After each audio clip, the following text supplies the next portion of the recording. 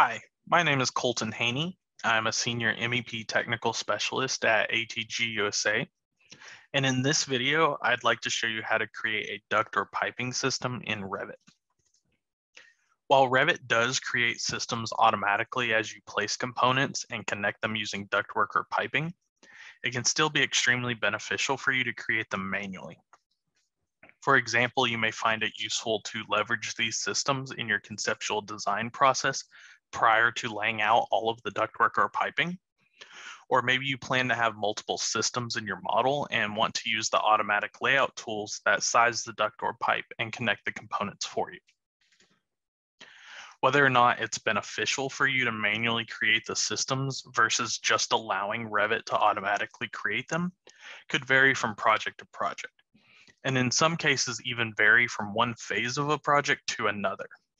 If you are working on a small project or even a small system within a project, the automatic system creation may do everything that you need it to. But if you're working on a large and complex system or even multiple systems at a time, you may wish to leverage other tools available in Revit that require the system to be created before all of the components are connected. So with that in mind, let me walk you through the steps to manually create a duct or piping system in Revit.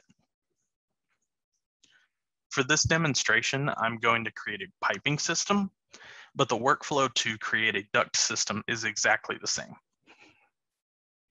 The first thing you need to do is make sure that at least one of the components that is going to be a part of your system is placed in the model. You don't necessarily need all of the components placed in the model up front because you have the ability to add and remove components from the system at any time. Next, you need to select at least one of the components that is going to be part of the system. A couple of things to note here are that the elements that you select must all be the same system type and that you do not want to select the source equipment at this time. Once you've selected your components, you will see the Modify tab appear in the ribbon. In this tab, in the Create Systems panel, click the appropriate button for the system you want to create. As you work with systems, you'll notice that some of the components can be a part of multiple types of systems, and there will be more than one option that you can choose from in this panel. Another way that you can start the system creation tool is by right-clicking on a connector and clicking Create System. After you've started the system creation tool, you'll need to set the system type by choosing one of the options in the dropdown as well as set a name for your new system.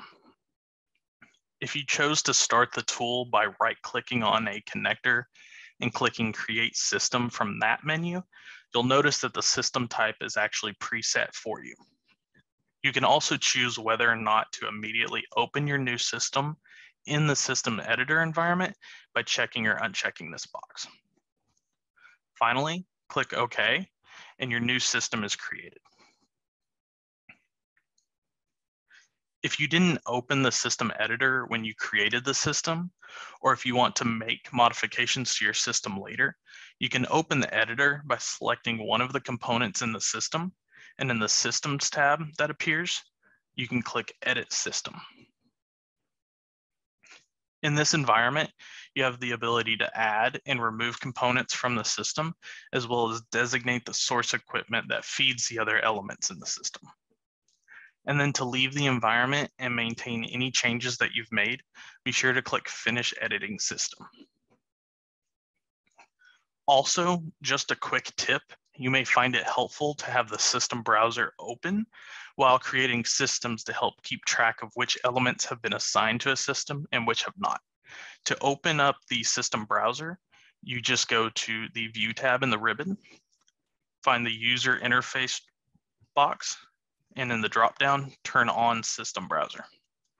Here you will see a list of everything, all the systems in the project that will show you the unconnected components in the project, as well as show you what systems have what components are already connected to them. And that's all there is to it. It really is that simple and easy to manually create a duct or piping system in Revit. And with the system or systems created ahead of time, before you do all of your layout and design work, You can now leverage them to help with your preliminary design and even make use of some of the other helpful features within Revit, such as the automatic layout tools. I hope this video has been helpful to you.